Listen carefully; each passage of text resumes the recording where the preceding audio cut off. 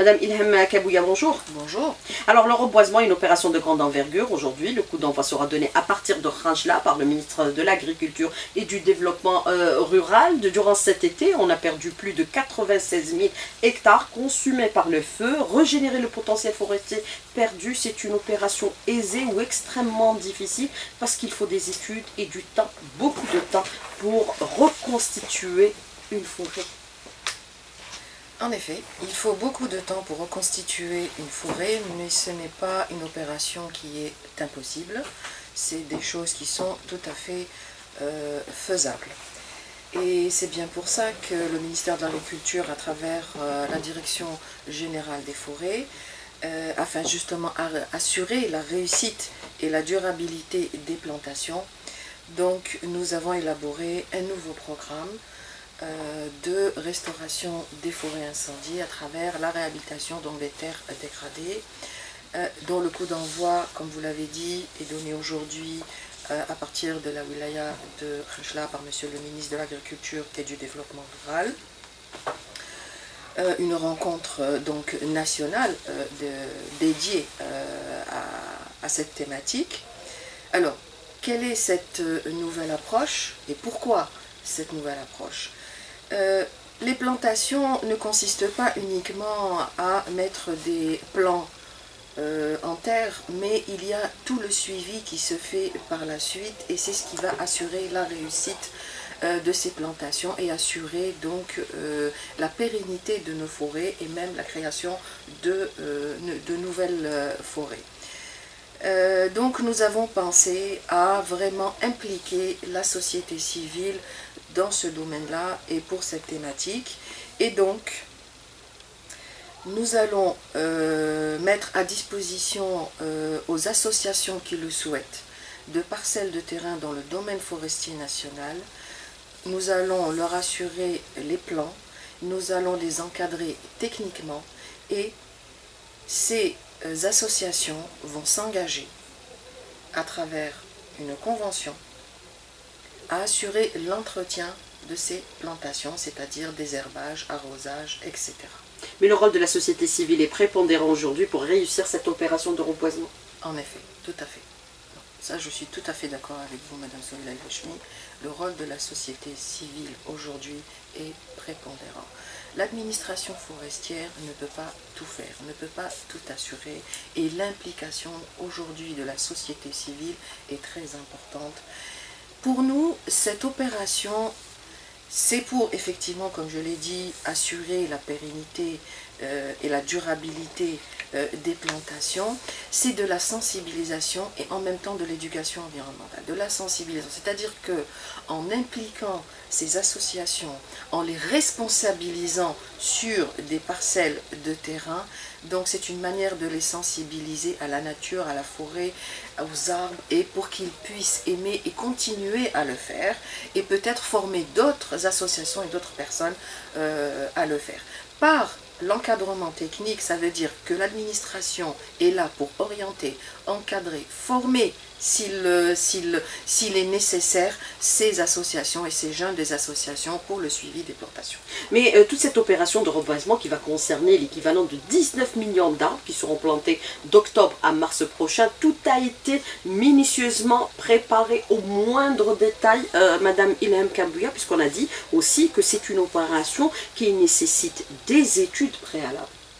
Oui, tout a été minutieusement préparé au préalable. Donc nous avons le détail du détail par wilaya, par daïra, par commune. Donc ces parcelles sont là, ont été choisies, donc les commissions sont sorties. Donc nous avons euh, minutieusement choisi euh, ces parcelles qui seront, euh, comme je le dis, donc données à, ces associations aussi, euh, c'est que euh, cette nouvelle approche a été minutieusement étudiée et si aujourd'hui nous avons décidé de, passer à cette étape-là, c'est au regard des lacunes et donc toutes les lacunes qui ont été identifiées, que nous avons rencontrées par le passé dans l'élaboration du plan national euh, de reboisement. Et c'est pour ça que on s'est rendu compte qu'aujourd'hui, l'implication de la société civile était vraiment très importante. Mais quand vous parlez des lacunes, lesquelles les lacunes? Alors, dans le suivi des plantations. Comme je l'ai dit, il ne s'agit pas de mettre juste les plants en terre. L'administration des forêts s'est évertuée pendant des années euh, à le faire. C'est vrai que ces journées de plantation, euh, des campagnes de plantation ont été organisées de tout temps avec la société civile, avec les particuliers, avec les entreprises, avec énormément euh, de monde, mais ils viennent juste la première journée et puis après c'est l'administration des forêts qui est chargée de faire tout le suivi de ces plantations, ce qui est pour nous aujourd'hui très lourd et quasiment euh, très difficile. Mais est-ce qu'on peut comprendre aussi que par vos propos qu'on ne plante pas n'importe où et n'importe quoi? C'est clair. C'est vrai que je dis l'encadrement est fait par l'administration parce que les plans sont fournis par l'administration. Donc le choix des espèces est fait, le choix euh, des terrains où, seront plantés, c'est l'administration aussi qui, le fait et tout le suivi après se fait aussi euh, avec l'encadrement technique de l'administration forestière. Mais quelles sont les espèces qui s'adaptent à notre climat aride et semi-aride aujourd'hui puisqu'on a vu, il y a rarification de pluie, de plus en plus?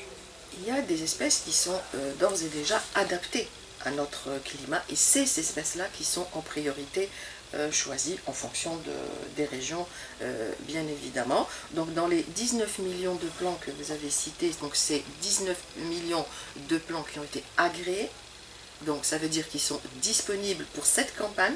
Donc je précise que la campagne commence euh, en octobre et s'achève au mois de mars.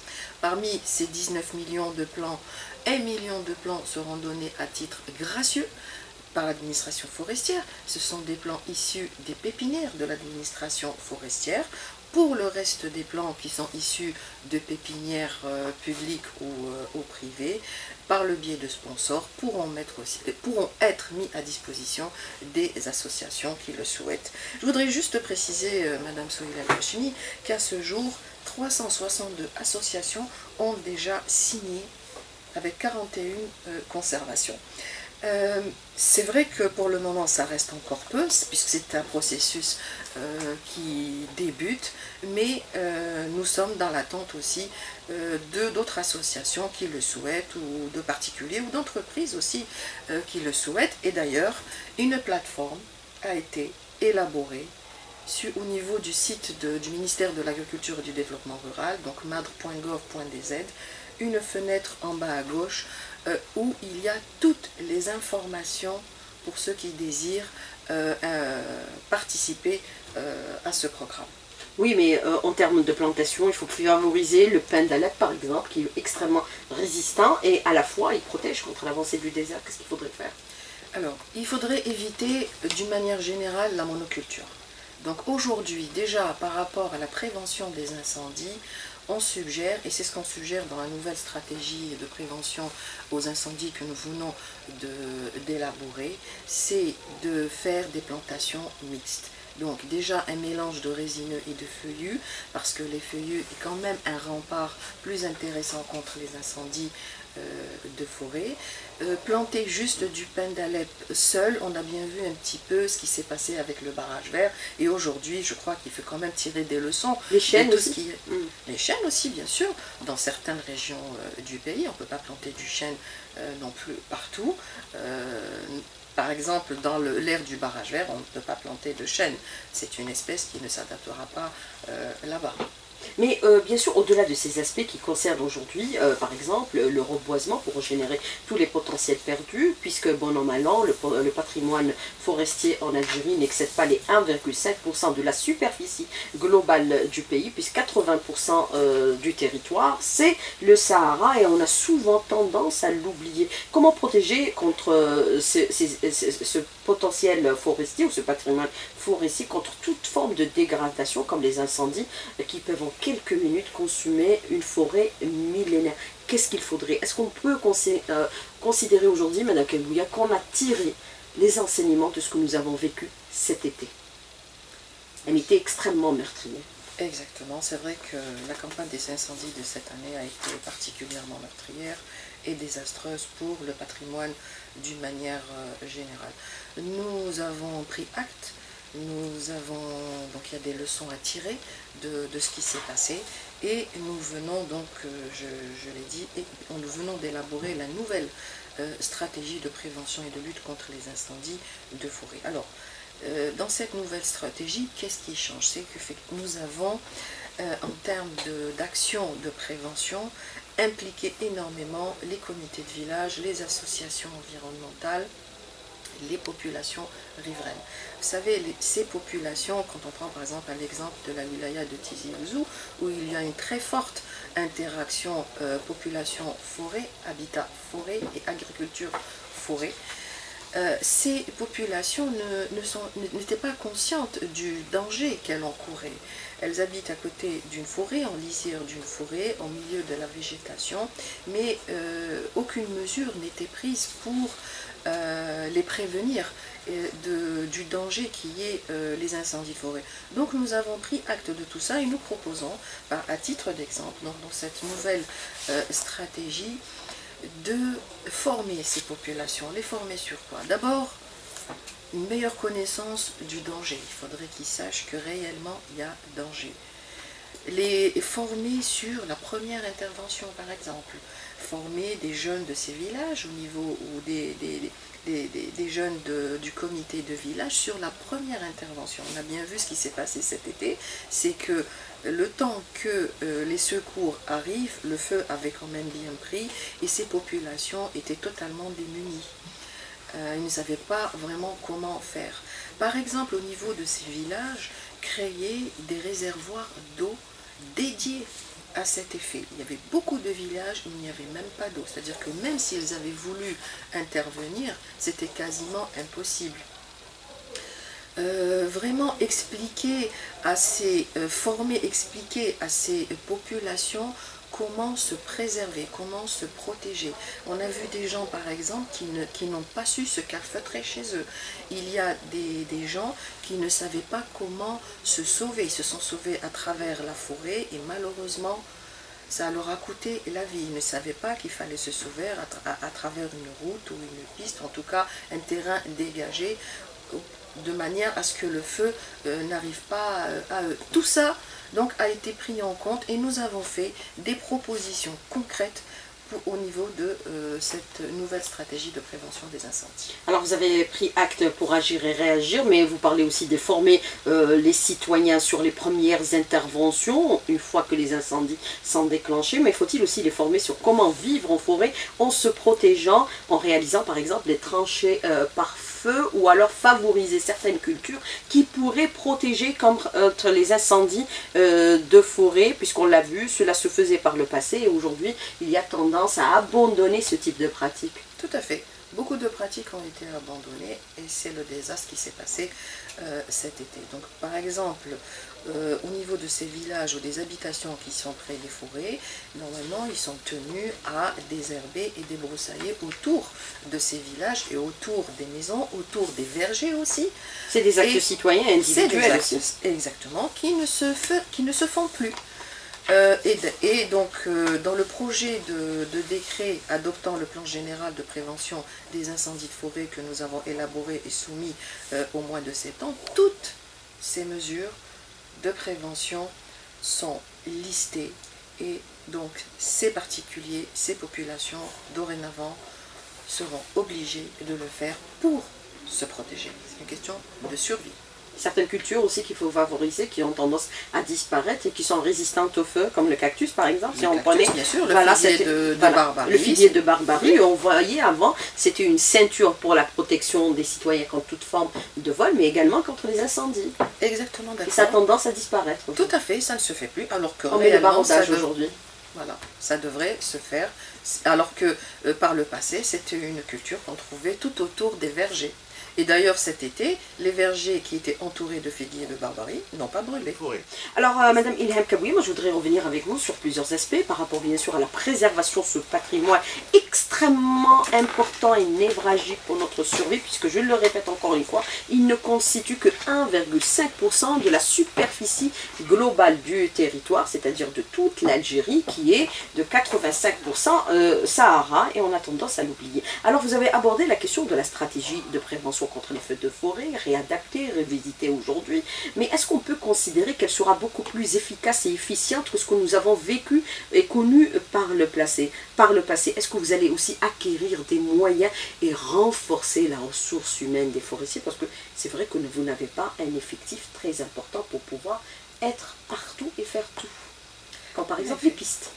En effet, euh, les effectifs effectivement ne sont pas euh, aux normes, euh, on va dire.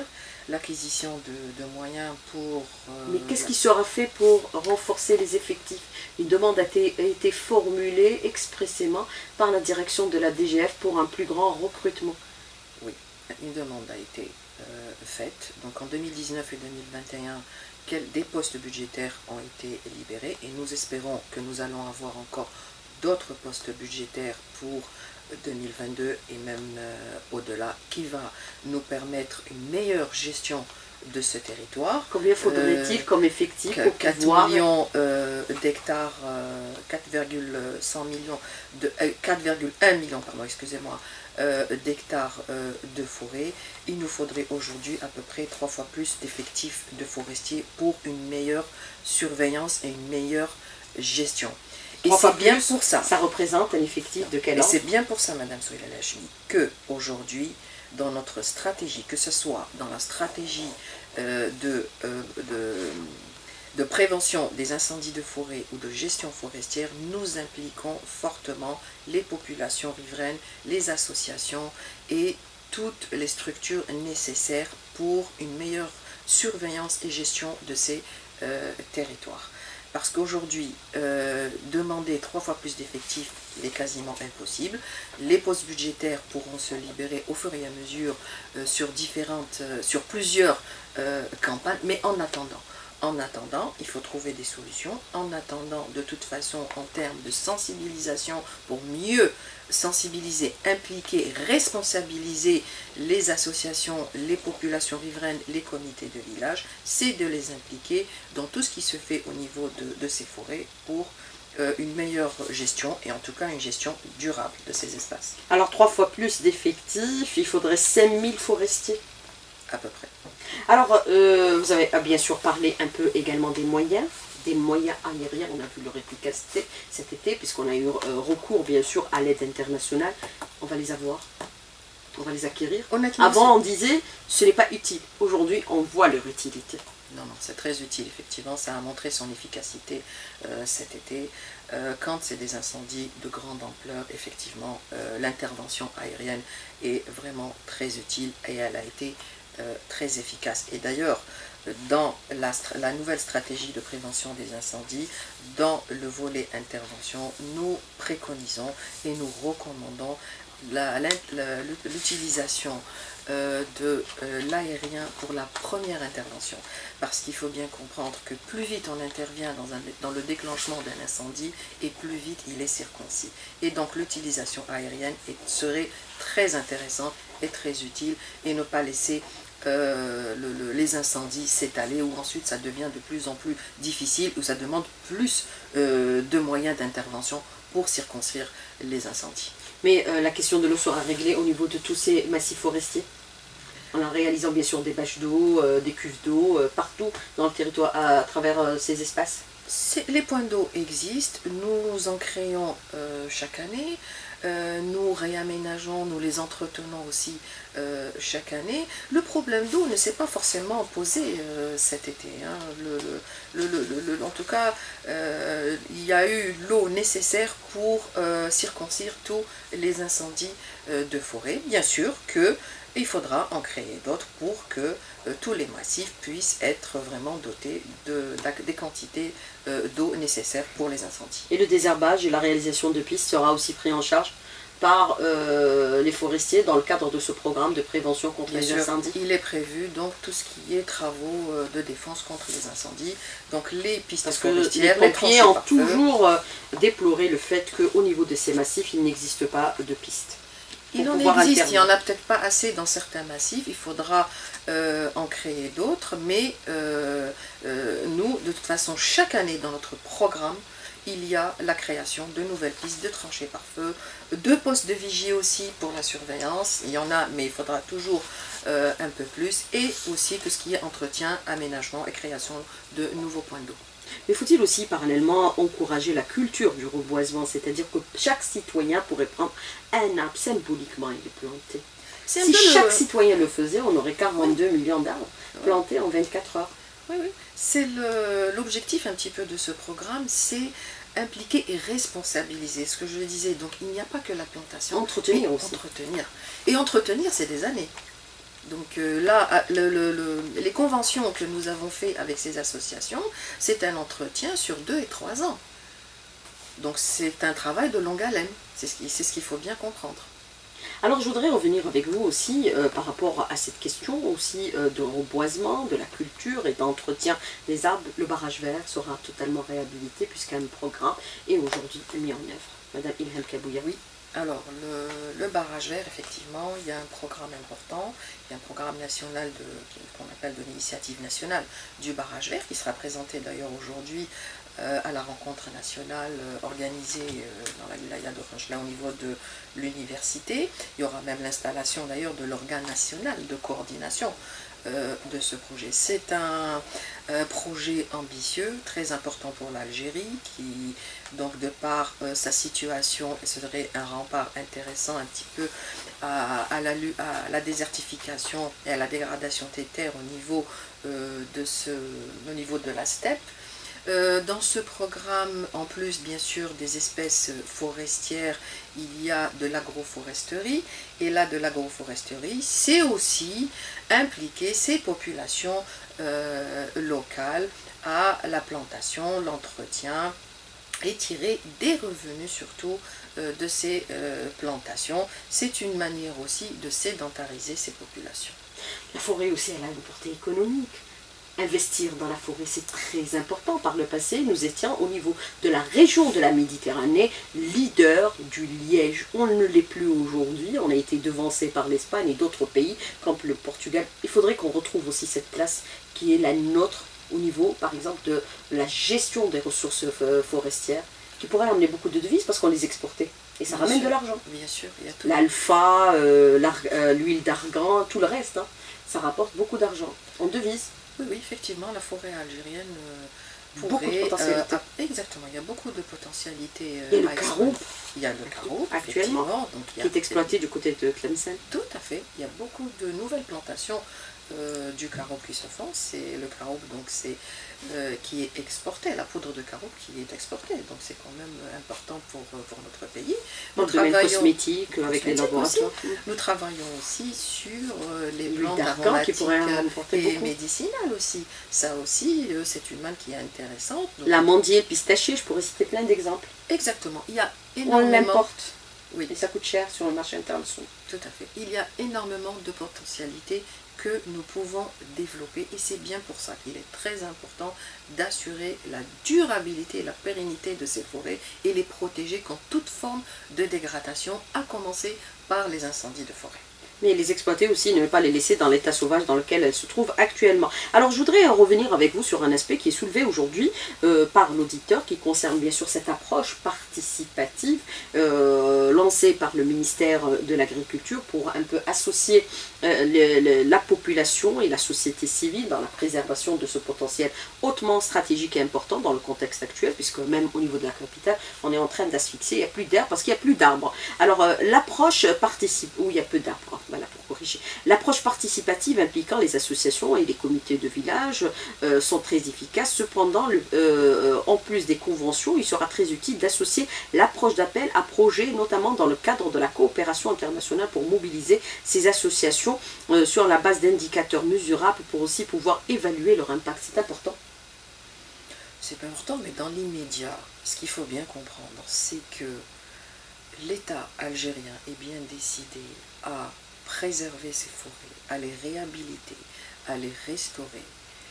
Et donc, travailler avec ces associations, avec ces comités de village, avec ces entreprises euh, nationales est d'abord la première étape pour nous avant de passer à la coopération internationale. Mettre en place des indicateurs on a fait appel à la coopération internationale en situation d'incendie. pour bien sûr avoir les canadaires.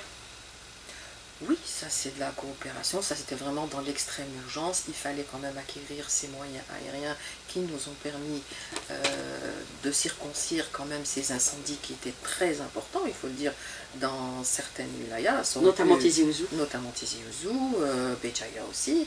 Euh, les, les, avions bombardiers ont, été, ont travaillé d'arrache-pied deux ou trois jours d'affilée pour arriver à bout de deux gros incendies. Mais quand on dit que certains incendies sont d'origine criminelle, comment vous allez lutter contre ce type de phénomène? Est-ce qu'il va falloir aussi associer d'autres secteurs d'intervention pour protéger ce patrimoine forestier? Qu'est-ce qu'il faudrait? Oui, alors ça, nous travaillons déjà sur ça. Nous avons euh, mis en place et formé des équipes constituées d'un forestier, d'un cadre de la protection civile et un cadre de la gendarmerie nationale. Donc ces équipes, nous en avons formé déjà 16 au niveau de 16 wilayas et nous comptons continuer cette formation euh, en 2022. Donc le rôle de ces équipes, c'est la recherche des circonstances et des causes des incendies. La gendarmerie nationale seule ne peut pas travailler parce qu'ils ne sont pas vraiment spécialistes en la matière. Le forestier, ce n'est pas son rôle. La protection civile non plus.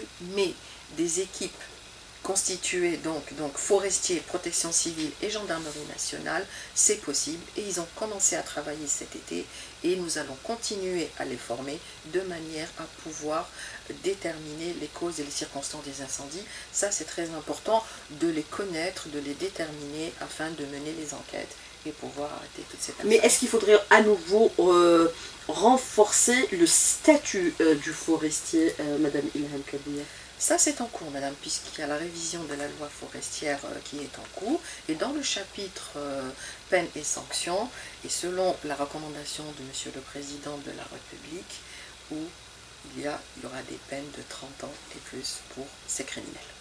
Euh, je voudrais revenir avec vous euh, sur cette question, au-delà bien sûr de ces aspects liés euh, au recrutement et également par exemple à la formation. Est-ce qu'il faudrait aussi renforcer la législation en matière de, c'est-à-dire de peine encourue en cas de dégradation d'un espace forestier ou d'incendie criminel provoqué par certaines personnes malveillantes? Puisque vous avez parlé de peine allant jusqu'à 30 ans. Et est-ce qu'on pourrait encore renforcer quand on voit des gens, par exemple, circuler au niveau d'un quartier, arracher un arbre? Oui. Ça aussi, c'est criminel. Alors, la, loi forestière, euh, donc la, nouvelle loi forestière, euh, où beaucoup de choses ont été prises en compte au regard de, toutes les dégradations qui sont commises au niveau des forêts, au niveau des arbres, quand il s'agit de forêt, donc dans le domaine forestier national, c'est pris en charge, mais par contre, quand il s'agit euh, d'arracher un arbre au niveau d'une ville, là, ce n'est plus des prérogatives, malheureusement, de la Direction Générale des Forêts, donc c'est d'autres services euh, qui doivent prendre en charge ce, volet-là. Mais tous ces aspects dont vous venez de parler, dans le domaine forestier national, seront pris en charge dans la nouvelle loi forestière. Ça ne veut pas dire que ça n'existait pas dans l'ancienne loi, mais ça a été renforcé. Alors, euh, pourquoi euh, ne pas recruter des saisonniers pour la surveillance contre les incendies en période, euh, par exemple, estivale? Madame Kabouda Question de. Madame chaque année, il y a des, des, saisonniers qui sont recrutés. Ça, c'est chaque année, c'est-à-dire du mois de, du 1er juin au 31 octobre, il y a des saisonniers qui ont un contrat et qui sont recrutés pour la surveillance au niveau des postes de vigie ou pour renforcer les équipes des brigades mobiles qui sillonnent euh, les espaces forestiers pendant toute la période euh, estivale. Alors, euh, autre question de l'auditeur, il vous dit quand, quand allons-nous acquérir bien sûr des moyens aéroportés pour lutter contre les incendies de forêt? Est-ce que l'année prochaine, par exemple, pour l'été prochain, les moyens seront exclusivement algériens? Ça, je ne pourrais pas répondre à cette question, mais ce qui est sûr, c'est que euh, l'État algérien est convaincu que l'acquisition de moyens aériens pour la lutte contre les incendies est utile, nécessaire et même indispensable. Et je sais qu'ils y travaillent pour acquérir les moyens qu'il faut. Alors, euh, autre question euh, de l'auditeur qui vous dit maintenant, habiter à proximité de la forêt ou à l'intérieur de la forêt nécessite également un recensement de la part de la direction des forêts. Vous devez recenser la population et la connaître avec précision, celle qui vit aux alentours et dans la forêt. Ces populations se recensées sont connues hein, par nos services euh, déconcentrés. Hein. nous n'avons pas besoin de refaire d'autres recensements, elles sont connues, mais simplement aujourd'hui, ces populations doivent euh, vraiment se protéger par les mesures adéquates qu'il faut afin que euh, ce qui s'est passé cet été ne se reproduise plus. Alors, une police des forêts, est-ce que c'est envisagé aujourd'hui, Madame Kabouya, dans le cadre bien sûr de cette loi forestière qui est en cours de révision. Le forestier fait office euh, de, police euh, forestière, nous sommes formés euh, pour, ça et nous pouvons établir des procès-verbaux et travailler aussi avec les services nécessaires pour arrêter, pour faire les enquêtes, etc. Est-ce qu'on peut considérer qu'à l'avenir, par exemple, en milieu urbain, on pourrait voir les forestiers verbaliser certaines personnes qui dégradent un arbre? Ou qui arrache un arbre. Souvent, il y a des accidents qui percutent un arbre et ça y est, il est parti. Hein. Ah oui, c'est clair. Mais euh, Même pour euh, construire une maison, on arrache un arbre. Non, c'est vrai que c'est dramatique ce qui se passe dans nos villes et nos villages. Euh, le forestier a travaille au niveau du domaine forestier national et ne pourra pas travailler en ville ça c'est clair, ce n'est pas du tout de, dans, les, dans le domaine de ses compétences. En milieu urbain, est-ce qu'arracher un arbre doit être assujetti à une autorisation préalable de la direction des forêts Madame euh, euh, Kabouya Oui, si vous devez, vous voulez arracher un arbre dans votre propriété... Elle existe mais elle n'a jamais été appliquée cette disposition, il Madame Il faut une autorisation des services forestiers. Mais elle n'a jamais été euh, appliquée Jamais, je ne suis pas vraiment d'accord. Il y a peut-être des gens qui le, qui, le font et qu'on ne pouvait pas contrôler tout le monde. Mais en tout cas, ce qui est sûr, c'est qu'une autorisation doit être demandée des services forestiers. Alors, autre question de l'auditeur qui vous dit, les plans Orsec sont-ils actualisés en matière de lutte contre les incendies de forêt? Madame euh, Ilham Kabouya Les plans Orsec seront actualisés, puisque là, il y a eu la révision de la loi sur les risques majeurs. Euh, les textes d'application, donc tout ce qui est projet de décret adoptant les, différents risques majeurs ont été élaborés et vont être présentés. Et en ce qui concerne les plans sec, ça va être révisé et il y aura de nouvelles propositions au vu des euh, lacunes rencontrées euh, ces, derniers temps. Alors, comment protéger aujourd'hui certains arbres centenaires qui existent aujourd'hui dans notre pays Madame Ilham Kabouya même en milieu urbain, nous voyons des arbres qui ont des centaines d'années. Est-ce qu'il faut les recenser, les identifier, Ils mettre Comme cela se fait dans, à l'étranger, vous passez devant un arbre, vous, trouvez par exemple sa date de naissance, le nom en bas euh, de l'arbre, vous lisez, et vous êtes heureux de le rencontrer et de le croiser. Ils existent dans notre pays également. Vous savez, ça c'est une question de citoyenneté. Oui.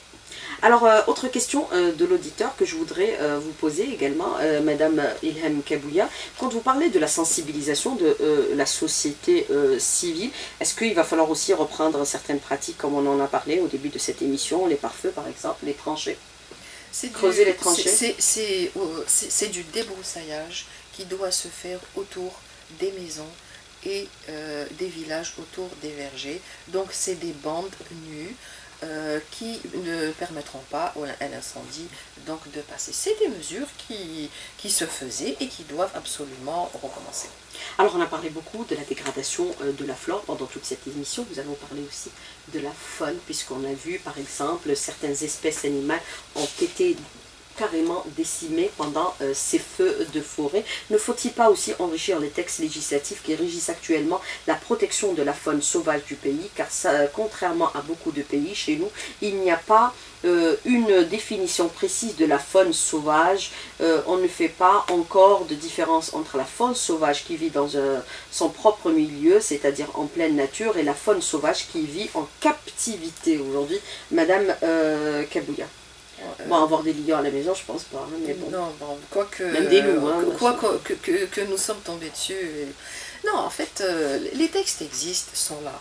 Euh, cette faune, elle est là Il y a dans la, ces la vente aussi illicite de ces espèces sauvages. Oui, nous luttons contre euh, d'abord le braconnage. Il ne faut pas l'oublier que le braconnage fait rage encore. Hein.